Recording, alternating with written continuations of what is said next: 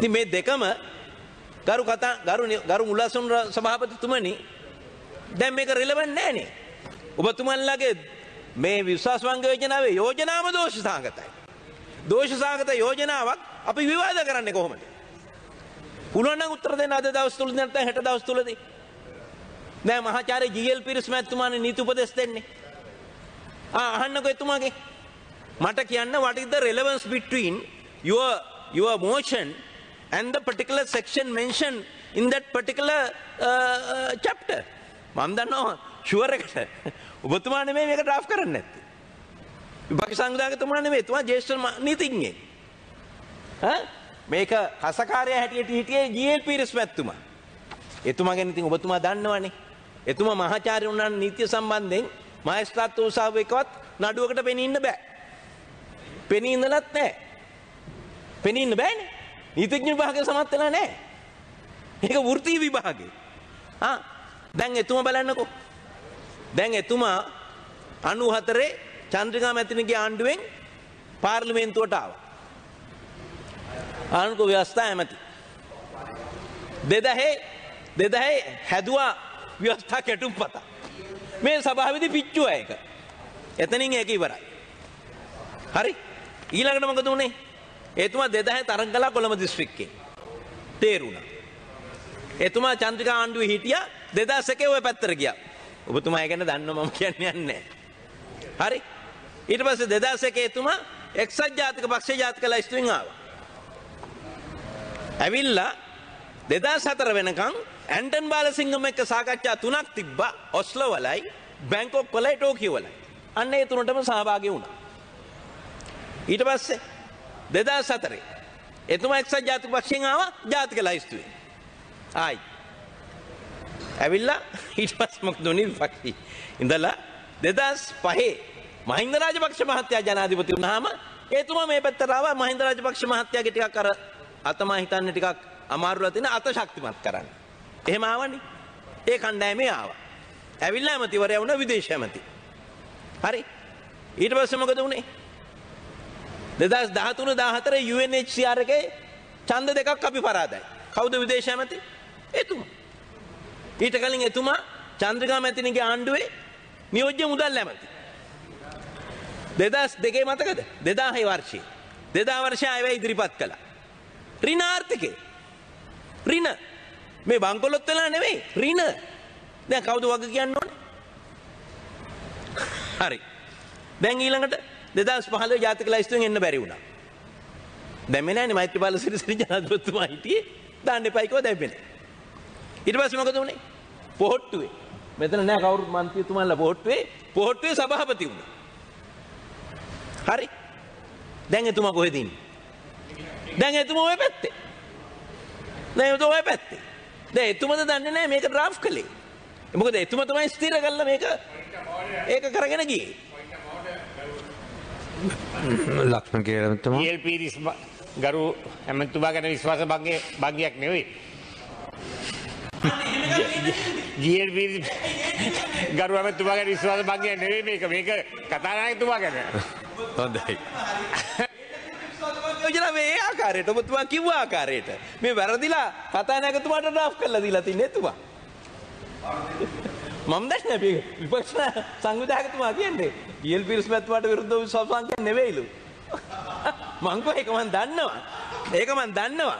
ගරු අනුරුසානක මැතිතුමත් බලන්න මේ විශ්වාස මංගේ හොඳට ඔබතුමා අසං කළා නෑ. මේකේ සම්පූර්ණයෙන්ම මේක කන්ට්‍රඩික්ටරි මේ යෝජනාවයි මේ මේ මේ මේකේ තියෙන කන්ටෙන්ට් එකයි. අනුක ව්‍යවස්ථාවේ මේ වගන්ති එකකටව රෙලවන්ට් නෑ. දැන් රෙලවන්ට් නැති එකක් අපි විවාද කරනවා. ඡන්දයක් ඉල්ලන. මම කිව්වේ මේක ඔබතුමා නෙවෙයි නම් මේක මේ ඩ්‍රාෆ්ට් කළේ එතුමා තමයි ඩ්‍රාෆ්ට් කරන්නේ නැත්තේ. මොකද එතුමා තමයි කස්සකාරය හැටියට මේක ගියේ. ඉතින් මම ඊට වඩා ඒ ගැන කියන්න යන්නේ නැහැ. ඊට පහුගිය දවස්වල තව හොඳ කාරණා ටික මාධ්‍යයෙන් වාර්තා කළා. ඒ තමයි සට්ටම්බිරාල කෙනෙක් කියලා කිව්වා. හරිද? ඒක ඒක බොහොම ඉන්ට්‍රෙස්ටිං. ඔව් ඔව්. ඒක ඔබතුමන්ලට වැදගත්. මේ පාර්ලිමේන්තුවේ ගරු මන්ත්‍රීතුමනි සට්ටම්බිරාල කෙනෙක් කෙනෙක් කියන පද්ම උදේශාන්ත ගුණසේකර මන්ත්‍රීතුමා. නෑ නෑ මම මම කියන්නේ මේ මේ පත්‍රයේ තිවිච්ච ඒවා. all these facts මං කාට මං මම මේ මේ සත්‍ය නොවන කරුණු එකක්වත් කියන්නේ. පත්‍රයේ තිවිච්ච එකක් ගැන මම කියන්නේ. සත්තම්බිරාල මොකද්ද කරන්න කියන එක YouTube එක බලන්න.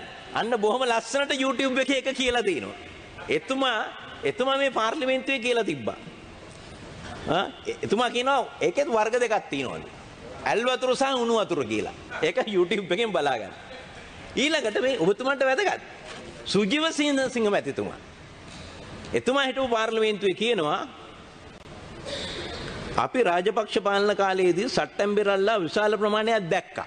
හරියටම හරි. එතුමා කියනක හරියටම හරි. එතුමා ඇත්ත කියලා තියෙන්නේ. ඒ සම්බන්ධව අපිට වෙනම කතා කරන්න විවාදයක් අවශ්‍යයි. එතුමා විවාදයකුත් ඉල්ල ඔබතුමාට දැන් අන්න ඒක ඉල්ලන්න. මේ විශ්වාසභංග යෝජනාවෙන් පස්සේ ඔය සට්ටම්බිරාල කියන වචන ගැන විවාදයක් ඉල්ලන්නකෝ. හරි. එතකොට හරියට ඔය කරුණ ටික එළියට එනවා. සට්ටම්බිරලා කොහෙද හිටියේ? සමහරට මැදමුල්ල පැත්තේ හිටියයි කියලාත් කියන්න පුළුවන් කාලාන්තරයක් තිස්සේ ඉලෙක්ෂන් කාලේ. එහෙම තමයි හිටියේ. මැතිවරණ කාලේ ඒ જાති අය එහෙම තමයි හිටියේ. ඔය හිටියේ ජීඑල් පිරිසමතුමා වුණා ඒක හොඳට කියයි. ආ? ඔය සංගේ ඉන්නෝනේ. ඔව්. ඒ ළඟම හිටපු අය තමයි දැන් ඔබතුමා ළඟමට වෙලා ඉන්නේ. වැරදිලා උතෙන්ට ඇවිල්ලා තියෙන්නේ. හරි. දැන් ප්‍රශ්නේ තියෙන්නේ මම මතු කළේ මෙතනයි. මෙන්න මේ විශ්වාසභංග යෝජනාවේ මේ කන්ටෙන්ට් එකම දෙවෙනි කාරණය ව්‍යවස්ථාවේ තියෙන වගන්තිත් එක්ක ගැලපෙන්නේ නැහැ. එතකොට ව්‍යවස්ථාවත් එක්ක නොගැලපෙන විවාදයක් තමයි මේ කරන්නයි කියලා කියන්නේ අපිට. මං ඒ ප්‍රිලිමිනරි ඔබ්ජෙක්ෂන් එක. මූලික විරෝධතාවය අපි සුපුරුදු හැටියට උසාවිදි කරනවා වගේ මූලික විරෝධතාවය ඔබතුමන්ලාගේ හමුවේ ඉදිරිපත් කරමින් දැම්ම මේනෝ මේ මේ මේකේ ඔබතුමන්ලා කියන කාරණය ගැනම. ඇත්තරම දැන් ඒක ගැලපෙන්නේ නැති නිසා හරයක් නැහැ. නමුත් ආණ්ඩුක ව්‍යවස්ථාදායක සභාවේදී තව කාරණේ විතරක් නෙවෙයිනේ. දැන් ඒකේ කියනවා ඡන්දේ නොදී සිටීම විපක්ෂ වුණ හැටියට සලකලාලු. හරි. දැන් මම දැක්ක ඒකම ගරු මන්ත්‍රීතුමා තුමේ කියනවා මේ පාර්ලිමේන්තු මන්ත්‍රීවරුන්ගේ එහෙනම් ඒ ඇබ්සෙන්ට් තියෙන කියලා. ඒ වරප්‍රසාදයක්. මෙතන කොළ පාට බොත්තම තියෙන්නේ පක්ෂව. මෙතන නිල් පාට බොත්තම තියෙන්නේ රතු පාට බොත්තම තියෙන්නේ විරුද්ධව. මෙතන කහ පාට එකකුත් තියෙනවා. කහ පාට එක නොතිබ්බනම් ඕක කියන්න තිබ්බා. කහ පාට එක තියෙන්නේ ඇබ්සෙන්ට් කරන්න. එතන පාර්ලිමේන්තු මන්ත්‍රීවරු තුන වරප්‍රසාදයේ ඔතන නෑ ව්‍යවස්ථාදායක සභාවේ සමාජිකයින්. මේක හරියට උසාවිය වගේ. උසාවියේ 3 ජජස් බෙන්චස් තියෙනවා. හරි. ආ 3 ජජස් බෙන්ච් එකකින් ජජස් තුන් දෙනෙක් තීන්දුව දෙනකොට දෙන්නෙක් එකට දෙනවා. ඔන්න තුන් දෙනාම එකට දෙනවා. දෙන්නෙක් පක්ෂයි කියනකොට එක්කෙනෙක් විරුද්ධ වෙනවා. ඒ එක්කෙනා කියන්නේ මම ඇබ්සෙන්ට් කරනවායි කියලා. එයාගේ විරුද්ධ මතය මොකද්ද කියන එකට එයා වෙනම ලියන්නත් ඕනේ.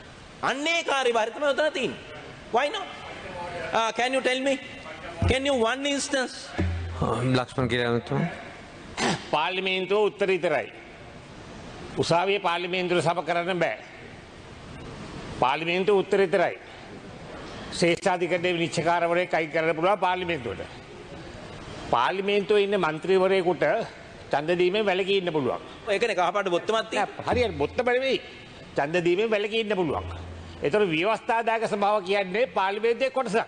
කතානායක සම්පූර්ණ වැරදි. ප්ලීස් ප්ලීස් කතානායක සභාපති අගමැතිතුමා ඉන්නවා විපක්ෂ නායකතුමා ඉන්නවා. එතකොට පාර්ලිමේන්තුවේ තියෙන වරප්‍රසාද please let me speak with you. පාර්ලිමේන්තුවේ තියෙන වරප්‍රසාද විවස්ථා දායක සභාවටත් තියෙනවා. පාර්ලිමේන්තුව ඇබ්ස්ටේන් කරන්න අයිතිය තියෙනවා නම් විවස්ථා දායක සභාවත් ඇබ්ස්ටේන් කරන්න පුළුවන්. එච්චරයි. thank you. ගරු ගරු ඔව් ලංසමන්තුමා. තානායකතුමා තමා ව්‍යස්ථාදායක සභාවේ සභාපතිතුමා. එතුමා තමා තීන්දුව දීලා තියෙන්නේ. ඒ කියන්නේ පක්ෂ වෙන්න ඕනේ එක්ක විපක්ෂ වෙන්න ඕනේ. කොයි කිරියල් ඇමතුමා කියන එක නෙමෙයි කතානායකතුමා පිළි අරගෙන තියෙන්නේ. ඒකවත් තේරෙන්නේ නැහැ නෙමෙතුමාට. ගරු ගරු මුලාසුනුට මන්ත්‍රීතුමනි මම මේක ඉතාම පැහැදිලිව මම පැහැදිලි කරගෙන ආවේ. මම එමනම් බේසික් ආගියුමන්ට් එකක් තියෙනවා ගරු කෙකැල්ල මැතිතුමා. දැන් ඔබතුමා මතු කරපු ප්‍රශ්නේ ඔබතුමා කිව්වේ ව්‍යවස්ථාදායකයේ කොටසක් කියලා ව්‍යවස්ථාදායක සභාව නැහැ. එහෙනම් මොකටද හතා යන්න වගන්තිය දාලා තින්නේ විධායකයේ යටතේ අනුකූල ව්‍යවස්ථා සභාව? මේ 17 වෙනි සංශෝධන ඉඳලා දිගටම මේ විකාශනය වනේ විදාහක බලතල අඩු කරන්න. විදාහක බලතල අඩු කිරීමේදී ඒ විදාහක බලතල අඩු කිරීමේ ක්‍රමවේදයක් හැට තමයි දාහත දහට දහනම විස්ස විසියක වෙන කම්මාවේ සංශෝධන ටික වෙනස් වෙවි. එතකොට විසියෙක් වෙන සංශෝධනයේ මේ ව්‍යවස්ථාදායක සභාව කියලා කියන ඔබතුමා බලන්න මීට කලින් තිබිච්ච එක. 21කට කලින් එන 20ට තිබුණේ මොකද්ද? විධායකයට තිබුණේ. ඒ නිසා ආණ්ඩුක ව්‍යවස්ථාදායක සභාව කියන්නේ විධායකයේ කොටසක් මිසක් ව්‍යවස්ථාදායකයේ කොටසක් නෙවෙයි. That's wrong. එහෙමනම් මේ මේ මේ කාරණය සම්බන්ධයෙන් ඇබ්ස්ටේන් වෙන කතාවක් ඔතන නැහැ. එහෙනම් ස්පෙસિෆිකලි මේ මේ මේ ව්‍යවස්ථාවේ විශේෂයෙන් සඳහන් කරන්න ඕනේ ඡන්දේ දීමේදී මෙහෙමයි වෙන්නේ කියලා. ඒක කොහෙවත් නැහැ. එහෙම නැත්තම් ඔය ව්‍යවස්ථාදායක සභාවම තමන්ගේ රූල්ස් ටික හදද්දි පිටු 56ක් හදලා ඒක පිටු 4කට අඩු වුණානේ. හරි ඒකේ ඉන්න අය ඒකවත් දන්නේ. එතකොට ඒකවත් තියෙන්න ඕනේ ඡන්දෙ දෙන්නේ මෙහෙමයි කියලා නෑ. ඒ නිසා සාමාන්‍ය සම්ප්‍රදාය අනුව ඡන්දේ නොදී සිටීම තමයි අර්ථ නිරූපණය කරගෙන තියෙන ඒක කතානායකතුමාට වරදක් කියන්න බෑ.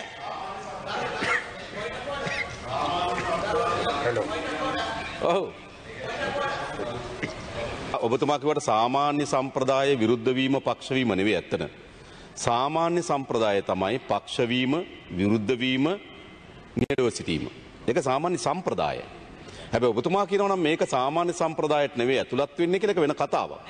හැබ ඔබතුමාගේ මේක සාමාන්‍ය සම්ප්‍රදාය නම් මේ චන්දයකද සාමාන්‍ය චන්දයක දැන් සාමාන්‍ය මත විමුසුමක් ගිල්ල බැලුවත් තියෙන මොකක්ද මෙයාට දෙනවා මෙයාට දෙනවා ප්‍රතික්ෂේප කරන. අපේ චන්ද දීමිති. එනිසා මම හිතන්නේ සාමාන්‍ය සම්ප්‍රදාය පක්ෂ විරුද්ධයි නෙවේ සාමාන්‍ය සම්ප්‍රදාය අර කරුණු තුනම තියෙන එක.